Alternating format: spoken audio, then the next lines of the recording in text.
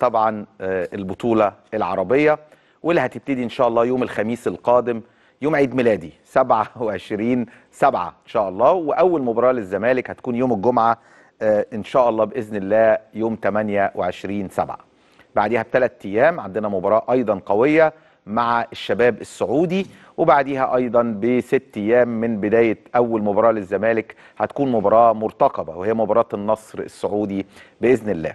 على فكرة إحنا هنلعب ماتشات كلها في ثلاث مدن منها أبها يعني في النهاية الزمالك هيلعب في مدينة الطائف والماتشات هتكون الساعة 4 بتوقيت القاهرة الساعة 6 بتوقيت القاهرة الساعة 8 بتوقيت القاهرة والساعة 10 بتوقيت القاهرة. كل يوم هيكون في أربع مباريات.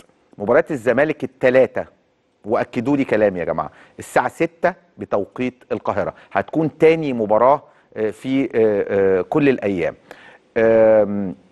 اللي عايز أكده كمان إن يوم الجمعة يوم ما الزمالك هيلعب مع فريق اتحاد المنستيري هيكون في نفس اليوم الساعة 10 بعد مباراة الزمالك هتكون مباراة مرتقبة أيضا وهي مباراة النصر والشباب على ما أتذكر يعني. وهي المباراة اللي يعني بتشهد برضو الفرقتين اللي هم في نفس المجموعة بتاعة نادي الزمالك.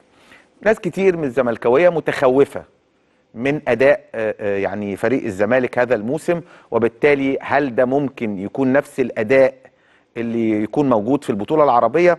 يعني من خلال خبرتي البسيطة كده في مجال كرة القدم لا الوضع مختلف. أعتقد بتخلق دوافع جديدة عند اللعيبة.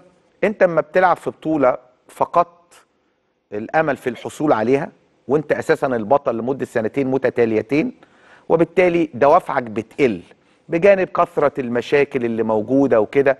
لكن مستر أوزوريو قولا واحدا آخر ست سبع ثمان ماتشات لا عامل نتائج كويسة إلا الشوط الأول في مباراة النادي الأهلي. ويمكن النهاردة يا جماعة شفنا النادي الأهلي في الاحتفالية بطل الدوري بيلاعب آخر فريق في الدوري النهاردة بطريقة لعب بتقفيل قدر إن هو يعني يطلع بنتيجة وحتى أما اتاخر في نتيجة قدر يعود في النتيجة وتنتهي وانتهي اللقاء واحد واحد. في نتيجة احتفالية شهدت وجود اللاعب الجديد كابتن إمام عاشور اللي كان متواجد في المدرجات. يعني في أول مباراة يحضرها إمام في تاريخه. للنادي الأهلي يعني. بسم الله ما شاء الله كان وشه حلو جدا النهارده على فريق النادي الأهلي. طيب وبالتالي نادي الزمالك عنده لعيبة كويسة. نادي الزمالك عنده لعيبة كويسة عنده لعيبة ممكن تفوق عنده لعيبة ممكن تأدي أداء أفضل. طيب إيه الفرق بين الدوري والبطولة العربية؟ البطولة العربية الأجواء نسبة المشاهدة في الوطن العربي الاهتمام الإعلامي بالبطولة دي في الوطن العربي انت كل الفرق من كل الدول العربية مشاركة.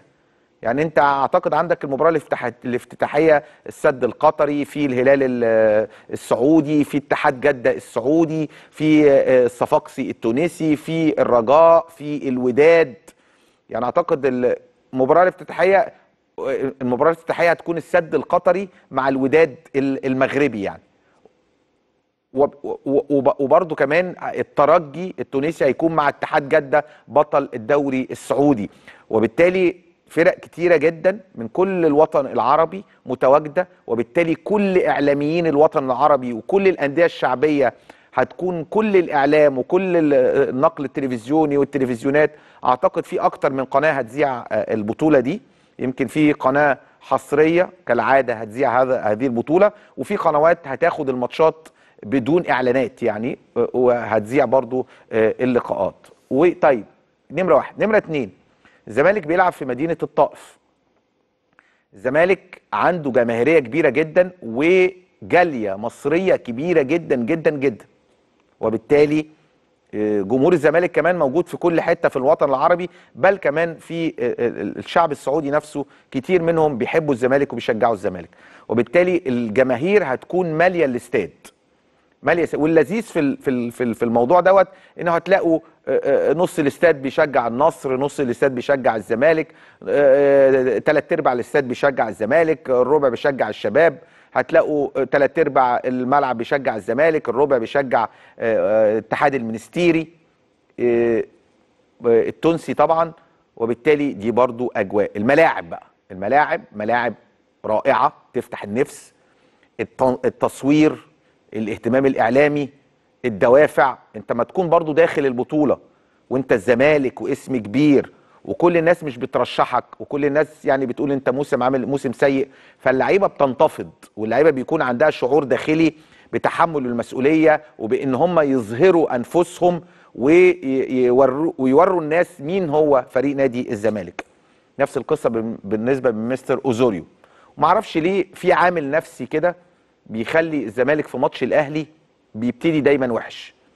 عكس ماتشات كتيرة الزمالك بيكون متفوق دايما حتى في نسبة الاستحواذ حتى في الفرص المتاحة.